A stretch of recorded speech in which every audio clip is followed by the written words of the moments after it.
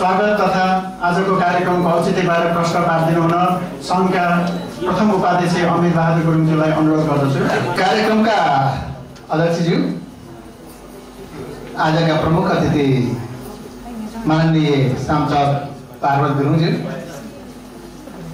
अन्य विशेष विशेष अतिथिवर्ग व्यासमा आसीन विभिन्न पर्यटन सङ्घ संस्थासँग आबद्ध अध्यक्ष तथा प्रतिनिधिज्यूहरू पत्रकार बन्धुहरू कार्य समितिका पदाधिक पदाधिकारी सदस्य मित्रहरू विभिन्न राजनीतिक सङ्गठनबाट पर्यटनसँग आबद्ध राजनीतिक सङ्गठनबाट पाल्नुभएका आदरणीय नेतागण र विभिन्न पर्यटनमा विभिन्न विधामा विधामा दक्षता प्राप्त गर्नुभएका वरिष्ठ पर्यटन व्यवसायी तथा उपस्थित सम्पूर्ण महानुभावहरूमा आज यस गुरु पर्यटन व्यवसायी सङ्घ नेपालको यो दोस्रो महाधिवेशन जुन भव्य रूपमा सञ्चालन हुन गइरहेको छ। यसमा हाम्रो निमन्त्रणलाई स्वीकारेर यहाँ पाल्नुभएका सबै सबैमा सिङ्गो कार्य समितिको तर्फबाट र मेरो व्यक्तिगत तर्फबाट यहाँहरूलाई सर्वप्रथम हार्दिक स्वागत अभिवादन टक्राउन चाहन्छु। र आज यो जिटिन गुरु पर्यटन व्यवसायी सङ्घ नेपाल स्थापना कालदेखि आजसम्म आउँदाखेरिमा हामीले सातौँ वसन्त पार गर्दैछौँ। यस क्रममा हामीले थुप्रै खालका उतार चढावहरू पार गर्दै गर्दै आज यो ठाउँमा हामी आइपुगेका छौँ यसले हामी सम्पूर्ण गुरु पर्यटन व्यवसायीहरूलाई एउटा उत्साह एउटा जोस एउटा जाँगर यसले उत्साह एउटा ऊर्जा दिने काम प्रकट गरेको छ भन्दा अत्युक्त नहोला यसै क्रममा सर्वप्रथम पहिला सुरुमा गुरु पर्यटन व्यवसायी सङ्घ नेपालले जुन गुरुङहरूको पर्यटनमा क्रियाशील गुरुङहरूलाई आबद्ध गरी एउटा सङ्घ स्थापना गर्ने क्रममा हामीलाई विभिन्न सङ्घ संस्था व्यक्तिहरूले हामीले लगाएको आरोप प्रत्यारोपहरू आज मिथ्या साबित भएका छन्। किनभने हामीले यो गुरुङ पर्यटन व्यवसायी सङ्घ नेपाल कुनै टानको नाटाको एनएमएको कुनै पर्यटन संस्थाको विरोधी संस्थाको रूपमा हामीले खुलेका थिएनौँ।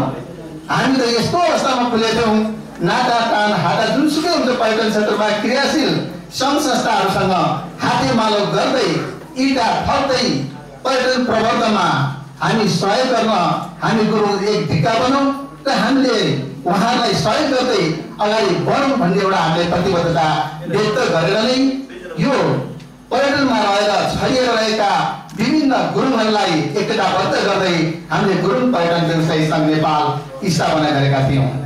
र आज जुन हाम्रो उद्देश्य अनुसार हामी अगाडि बढ्दैछौँ। हामीले विभिन्न फार्म टिमहरू गिडरसँग मिलेर कामहरूसँग मिलेर विभिन्न ट्रेकिङ प्रवर्धनको लागि हामीले आफूले शब्द सहयोग गर्दै आएको कुरा यहाँहरूलाई जाहेरै छ।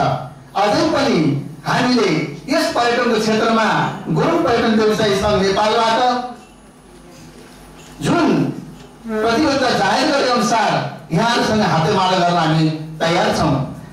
गुरुङ पर्यटन व्यवसायी सङ्घ नेपाल एउटा गुरुङहरूको छाता सङ्गठन हो र गुरुङले पनि नेपालको पर्वतीय चाहिँ पर्यटनमा महत्त्वपूर्ण भूमिका खेलेको यहाँलाई जाहेरै छ।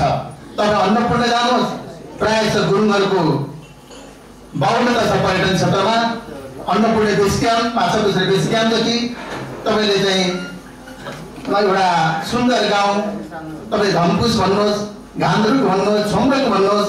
यी ठाउँहरूमा गुरुङको गुरुङहरूको बाहुल्यता छ। त्यति मात्रै होइन। पर्यटनको क्षेत्रमा विकास गर्ने होमस्टेको अवधारणालाई अगाडि सार्दै तपाईँ जहाँ गुरुङको बस्ती छ त्यहाँ पर्यटनको होमस्टेको नाममा पर्यटन प्रबन्धन गर्ने काममा तदारुकताका साथ अगाडि बढ्दै गएको कुरा यहाँलाई जानकारी गराउन चाहन्छु। त्यति मात्रै होइन। हामीले यो सात वर्षको दौरानमा एउटा गुरुङ ट्रेनको विकास गरेका छौँ। यसलाई हामीले यो अपुरो छ। अब आउने कार्यसमितिले यसलाई पूर्णता दिनेछ यो गुरुङ ट्रेन हाम्रो ककलीबाट सुरु हुँदै हामीले सिन्धुपाल्चोको हैबुङ पुगेर यसलाई टुङ्ग्याउने प्रक्रियामा छौँ। हामीले त्यसको रेकी गरिसकेका छौँ। त्यसको प्रचार प्रसार व्यापक रूपमा भइसकेको छ। त्यस कारणले अब यसले छिटो पूर्णता पाउने कुरामा यहाँलाई हामी विश्वास दिन चाहन्छौँ। त्यसो हुनाले गुरु पर्यटन व्यवसायी सङ्घ नेपालले अरू केही गरेको होइन कुनै सरकार गर्नु पर्दैन। यसले मात्रै के हो त भन्दाखेरिमा आफ्नो जमिनलाई आफ्नो सम्पत्तिलाई घेरावती पर्खाल लागेर लगाएर बार्ने काम सुरक्षा गर्ने काम मात्रै गरेको यसमा शङ्का नगरिदिनु हुन हार्दिक अनुरोध गर्दछु। त आज हामी यो गुरु पर्यटन व्यवसायी सङ्घको यो साधारण सभा यो अधिवेशनमा हामीले विभिन्न गुरुङ व्यवसायीहरूले आफ्नो विरागत रूपमा विधा प्राप्त गर्नेका विद्यावारिदीहरूलाई हामी सम्मान गर्न जाँदैछौँ। गुरुङहरूले विश्वको अग्लो सुचुरो सगरमाथा जुन आरोहण गर्नुभएको छ उहाँलाई हामीले सम्मान गर्न जाँदैछौँ र हामीले डाक्टर हर्क गुरुङ पर्यटनविद उहाँको नाममा हर्क गुरुङ पुरस्कारको व्यवस्था गरेका छौँ।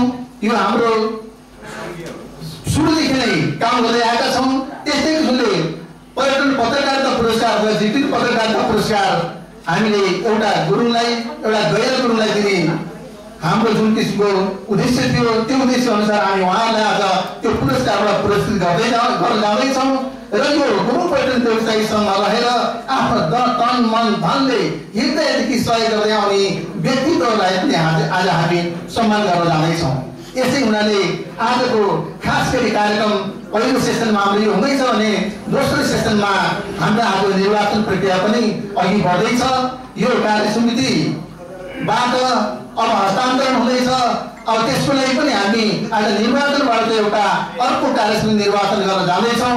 त्यसै हुनाले तपाईँहरूले हामीलाई हाम्रो इन्भाइटलाई स्वीकार आउनु भएको छ। शुभकामना बधाईको हामीले आशा गरेका छौँ र यस कार्यक्रमको उद्घाटन सत्र सकेपछि हामीहरूले यहाँलाई खानापिनाको लन्चको व्यवस्था गर्नेछौँ र त्यसपछि हामी अर्को सेसनमा हाम्रो बन्द सेसनमा हामी प्रवेश गर्नेछौँ र कार्य समितिको चयन गरेर आजको कार्यक्रम सकिनेछ।